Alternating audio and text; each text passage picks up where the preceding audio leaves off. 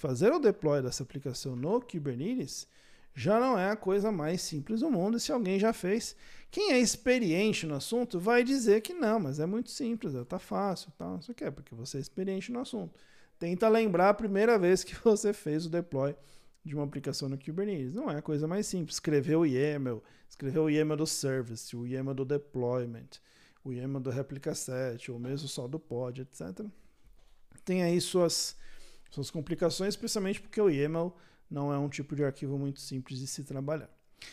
Mas existe um negócio que eu vou fazer agora para vocês, e isso sim, galera, é o barato que vai deixar o negócio muito fácil para você, muito simples mesmo, tá? Para isso, eu vou usar mais uma extensão do Kubernetes, que é a extensão, adivinha, ou melhor, mais uma extensão do Quarkus, né? Que é a extensão exatamente Kubernetes, tá bom? Que é essa aqui, ó, Quarkus Kubernetes. Que também eu poderia já ter gerado o projeto com ela nele, tá? De novo, estou fazendo passo a passo para que isso seja bem didático para vocês. O que, que eu vou fazer agora? Eu vou vir aqui e também vou adicionar essa extensão no meu projeto. Então, dá mvn, mvn quarkus add extension menos d extensions igual nome da extensão. Beleza? Maravilha, adicionou a extensão. Assim como a outra, essa extensão também precisa de algumas propriedades que sejam definidas. Tá? Nesse caso, exatamente duas. Tá? Tem outras propriedades, claro, né? Para todas as extensões, mas aqui é o mínimo para a gente fazer o que a gente precisa fazer hoje. Então, eu vou adicionar duas. Uma delas, a Load Balancer, que vai dizer o tipo de serviço que eu quero que seja criado para essa minha aplicação. Então, o Load Balancer vai ter um IP público disponível para ele. E a Trust Certs é só para para falar que o cliente pode confiar em, em certificados autoassinados, tá? Só como é um ambiente de demo, isso aqui não tem muito problema. Tá? Então, no caso aqui, já né, adicionei a extensão, adicionei as propriedades. E aí vem um negócio interessante, galera. Se eu rodar de novo aquele package que a gente rodou, então vou mandar ele rodar. A aplicação em si não vai mudar em nada, né? Embora eu esteja fazendo de novo o push lá pro, pro Docker Hub, mas não fiz nenhuma alteração na aplicação. Mas tem um negócio no meu package local que vai mudar que eu vou mostrar para vocês. Então vamos dar alguns segundos, beleza? Já, já fez. É, se eu vir aqui agora no meu IntelliJ, na minha pasta Target, tem uma pasta nova que eu não tinha antes, que é a pasta Kubernetes. E tem dois arquivos aqui. E tem um, galera, que é o cara da vez aqui. É o bambambam bam, bam da história. Que é o meu Kubernetes YAML. Esse arquivo ele foi gerado por essa extensão que eu adicionei no projeto, a extensão Quarkus Kubernetes.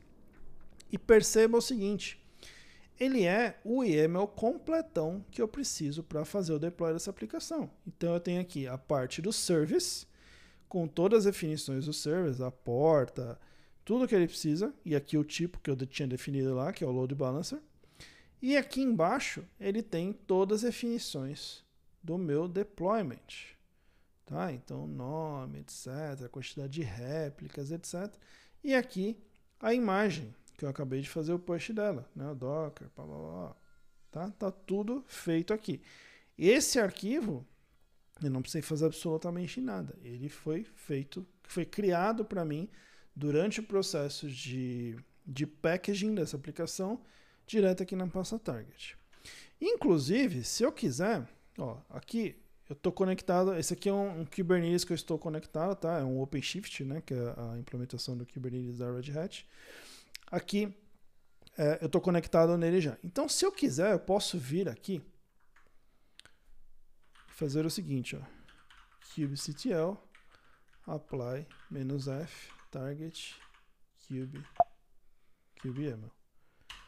Tá? Vou fazer o apply daquele arquivo YAML Percebam que ele já está criando aqui o meu pod, tá? Container creating e tal. gente vai esperar aqui uns segundinhos. Ó, já está pronto, está rodando. Tá? Se eu vir aqui no network, criou também o meu service. Beleza? Fácil, né? Porque, pô, o que dá realmente trabalho é você criar o YAML. E ele já criou um YAML para mim que eu, pô, fui lá, rodei uma linha de comando do kubectl e fiz o deploy dessa minha aplicação. Pô, mais fácil que isso não dá, né? Meu, pior que dá. Pior que dá para ficar mais fácil do que isso ainda. E é isso que eu vou mostrar para vocês agora. Deixa eu reverter aqui, aliás, curiosidade, né, para quem não sabe, se eu quiser, em vez de eu sair apagando cada uma das coisas que eu fiz o deploy, eu faço um kubectl delete, apontando para o mesmo arquivo que eu usei para criar, e ele vai apagar todo mundo que foi criado usando aquele arquivo. Tá? Então, vamos dar uns segundinhos aqui para ele criar, para ele remover tudo. E aí a gente continua. Porque aí, agora, você vai ver o negócio realmente ficar fácil para você. Tá? Vamos lá, amiguinho. Aí, maravilha. Pô, Eldo, o que, que pode ser mais fácil do que eu adicionar seis propriedades, adicionar duas extensões, rodar um packaging e rodar um comando do, do, do kubecontrol, né, o kubectl. Tem um jeito mais fácil e vai ser lá no packaging que eu posso fazer o seguinte, ó, mvn clean package "-d quarkus Kubernetes, estou usando um comando, uma propriedade da própria extensão do Kubernetes, é, Kubernetes deploy igual a true. Então, ao invés de eu gerar a imagem só do container e depois, num segundo passo, eu ir lá e fazer o deploy da aplicação, eu estou fazendo direto no package o seguinte, ó, gera a imagem e já faz o deploy para mim. Inclusive ele já fez. Tá aqui, ó. Deploy to Kubernetes Server, tá, tá, tá. Se a gente voltar aqui, ó. ó já inclusive tá rodando. Quando, quando tem alguns segundos atrás, se a gente vir aqui e fizer o kubectl get pods, aqui, ó, 19 segundos atrás. Tá? Então não é o pod de antes, não. É agora mesmo que acabou de ser gerado esse pod. Inclusive, se eu olhar o meu service, ele já está com o IP externo. Por experiência, eu sei que esse IP externo demora uns segundos para estar tá realmente disponível. Então, para não ficar, não fazer vocês ficar esperando, eu vou criar uma rota, que é uma jogadinha que tem aqui do. Ah, tá, já tem a rota. Beleza, maravilha. Então, o que, que a gente faz aqui? kubectl get routes, que é gerar uma rota só para acelerar o processo de disponibilização do DNS, tá? E aí o que eu posso fazer agora aqui é um curl nesse cara aqui, hello. Hello Kubernetes. Tá bom? Então, galera, percebam. Um negócio que pô, aplicação Java, tem que containerizar ela. Putz, beleza, vou lá, gero Dockerfile, não sei o que. Não, não precisa disso. Tem o Dib que faz isso para mim. Pô, ficou bem mais rápido. Legal, faço push lá para o meu Docker Hub, de lá eu consigo fazer deploy para tudo que é lugar que eu preciso. Ah, beleza, mas o problema nem é tanto esse, né?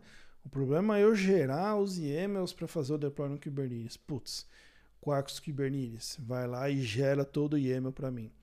E uma coisa, galera, que eu não comentei, é, se eu eh, fizer alterações nesse projeto e começar a colocar outras extensões que elas vão precisar ser usadas no meu deployment. Por exemplo, se eu adicionar uma extensão de Health Check nesse projeto, as extensões de Health Check ela vai precisar de dois endpoints no mínimo, que é o endpoint de liveness e o endpoint de readiness. Na hora que eu fizer o package de novo, automaticamente essa extensão vai adicionar os endpoints aqui nesse YAML. Tá? Então, tudo que eu for fazendo nessa aplicação que vai refletir no meu deployment, a extensão do Quarkus Kubernetes faz isso para mim automaticamente para eu não precisar ficar fazendo toda hora. Maravilha?